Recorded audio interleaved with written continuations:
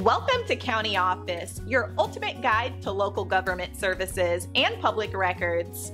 Let's get started. How do Supreme Court justices get removed? The process of removing a Supreme Court justice is governed by the U.S. Constitution and is similar to the impeachment process for the president and other federal officials. Here are the key steps involved. The House of Representatives initiates the impeachment process by introducing articles of impeachment.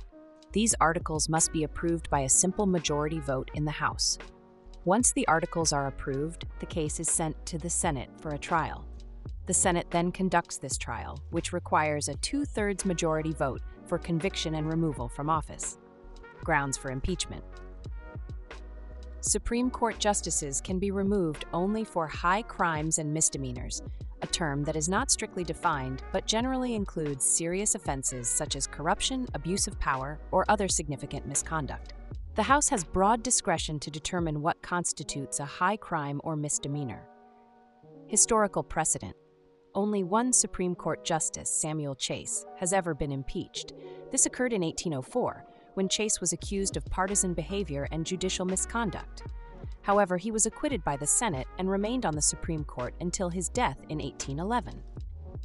Current context Recent controversies involving Supreme Court justices, such as allegations of financial impropriety and conflicts of interest, have led to calls for impeachment.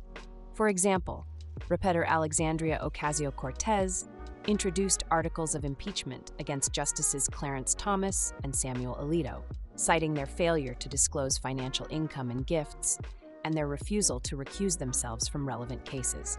Judicial integrity and ethics. The Supreme Court has implemented a code of conduct to address concerns about its credibility, although these regulations lack enforceability.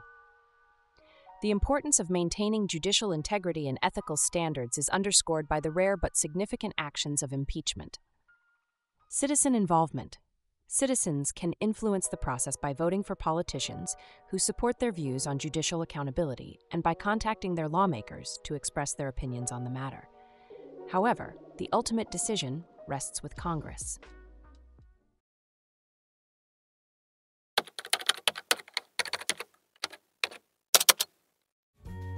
To learn more, check out these links, which you can click in the description below.